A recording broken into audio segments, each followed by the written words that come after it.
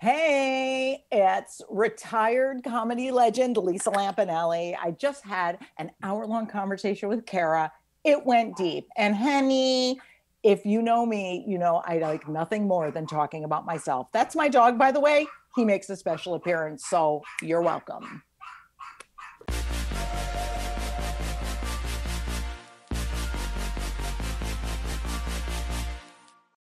Hey, this is Kara. You're watching Really Famous, where you really get to know your favorite celebrities on a totally different level because I was a therapist and that's how I roll. Right now, you're going to get to know Lisa Lampanelli. Here we go. All right, so let's do our quickies. What do you think? Sure. All right, so if you could choose two celebrities to be your parents, who would you pick? parents. Their roles on TV? Either or. Their, or Okay, okay, okay. Oh my God. My mother would be June from The Handmaid's Tale because she'd never give up trying to find me. And if you don't watch The Handmaid's Tale, people listening, you have to, even though it's difficult to watch, it's worth it. Um, she just will not let that daughter go. I mean, she had a chance to escape and she never did. I love that. Um, my dad, it would probably be I don't know why, but Henry Mitchell, I, I'm getting teared up just saying this. And I don't know why, because I watched that stupid, and I'm saying stupid because I don't mean it, but I watch antenna TV in the morning. It's all those old ass sitcoms, 50s, 60s, 70s. And there's something about Dennis the Menace's father that is so just humble, kind. He's not the main focus of the show, but he's like really kind, sticks up for the son. You know, the whole show is about Mr. Wilson and Dennis. You're not old enough to remember, but some listeners might be. And he's just kind, compassionate, old school gentleman. And I'm like, oh, for some reason that hits me. By the way, if you ever want to have peace, watch Antenna TV in the morning. Hazel and freaking Dennis the Menace, best shows ever. It's just okay. old fashioned and cute. I think it's obvious that you're it's hitting a nerve. What is of the course. nerve it's hitting? You tell me. Probably Let's analyze my, you.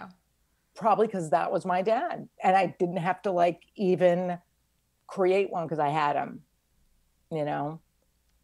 So and, and I think that's that you cool. you picked you picked two parents who would you know do anything for you. Yeah. Oh God, yes. I'm not going to pick ones that ignored me. That's for sure. I'm going to pick the ones who would be like, yes. Okay. yeah, so, totally. All right. So those are characters. I'm going to ask you the same question, but for actual celebrities. So now it has to be a real person, not a made up person on TV. Who would you pick for well, parents? I think the problem is we don't know them, and I think that's a it's a unfortunately flawed question because we don't know them and I don't think I would pick celebrity for parents. I think I would be uh, a difficult question answer right now and be like, I don't know any of them well enough to say I'd want them as a parent, you know?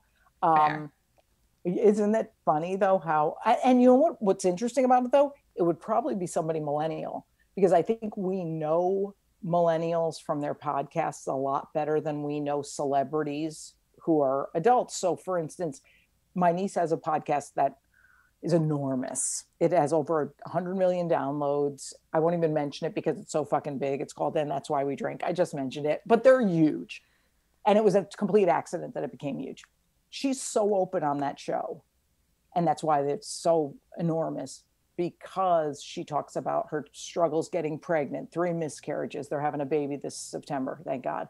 And um, we know millennials better because they show themselves so I would probably have to research podcasting of people under 30, and those would probably be my parents because at least we know who the F they are. I don't think we could believe everything we see about celebrities, obviously, or maybe anything. Right. Or again, if they go on a podcast where they get to the real person, I'm going to plug my person. own show, then you do yeah. actually get to know them a little 100%. bit better in real life. So yeah. it's all about podcasts, right? That's the bottom line. I I honestly think you're right because talk shows is motivated by see my movie, download my um whatever it is, yeah. my my streamer, do with a who the hell knows? But I'll tell you who I wouldn't want as parents, anyone who is so insane, and I don't mean that in a clinical sense, but so insanely driven that they need to fly to space in their own rocket. how much do you hate yourself and how much did your parents ignore you? I'm sorry, but that's mental because you go to yourself, do you really need that? Do you really? Like, that's crazy. Like, so much of achievement and those quote unquote like celebrities who are famous and is driven from lack that I was just like, oh, please keep them as far away from me as possible.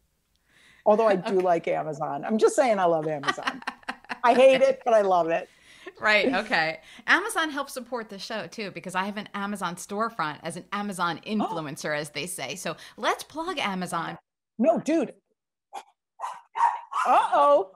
See, you're right. Because get that. Guess why my dog's barking? Because Amazon is literally at the front door. Oh. There is something about, and I guess we all needed it in COVID, and I don't cease to need it. And if it's the one thing I do is to buy stuff from Amazon that I don't need, I guess that's my addiction. Hold on. Can I yell at my dog one second? Do you mind? Parker! Parker! Parker! Parker, leave him alone. It's a bathing suit.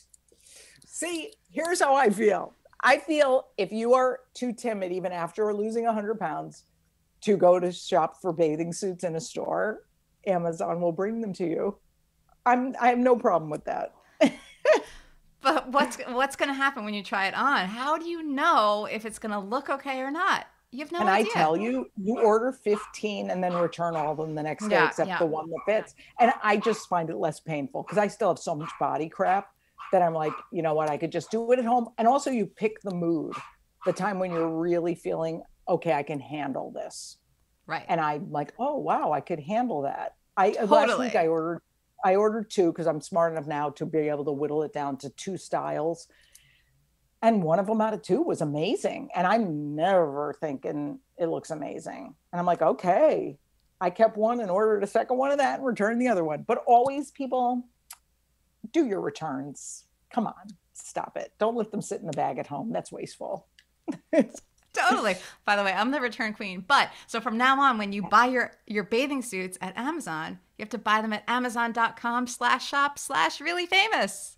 There you go. The buy it from her. Do it. Do it. Oh my goodness. All right, I think we're oh. good. I think this is great. We have enough. We don't have to do any more sillies. I think the silly questions. I think we are good. We have a good episode. You're the best, dude. You're really cool, man. Thank you so much for everything. Thank you. I appreciate it. I knew you were going to be good and real and yourself and open, and I appreciate that in you. Wait, Lisa divulges a lot more about her personal life in part two. Make sure you're subscribed to Really Famous, tap the subscribe button, and then tap the notifications bell, and you'll be notified as soon as it's ready. I usually drop new interviews with celebrities three times a week now, so stay tuned. It's usually Fridays, Sundays, and Tuesdays. If you like this video, please tap the like button and drop a comment below. I'd love to hear what you think about our talk, about Lisa, about me, about Really Famous, who you'd like to see on Really Famous. Whatever, drop a comment. I do read them. I'm Kara. Thanks for watching. I'll see you next time. Thank you so much. This is great. And could I do one last final plug? Yeah. For my podcast? It's called Losers with a Dream, which, by the way, that is something I used to say in, on the roasts to different people. But enough about these losers with a dream, because um, you know we're a bunch of losers on the show who just we have a dream. My dream is obviously to just have peace. Theirs is to do whatever straight guys need to do. But it is very unique in that it's two straight guys really talking about feelings. And I think there needs to be more of that because men are taught not to feel, and it's terrible. It should not be that way. And I'm on it every week. So go to Spotify or whatever the hell people get podcasts from. I don't even know, dude. Like, just find the podcast. Okay, bye. Thank you. if they're listening to this, they know how to find a podcast. So it's all oh, good. Oh, yeah. If- God, you're smart.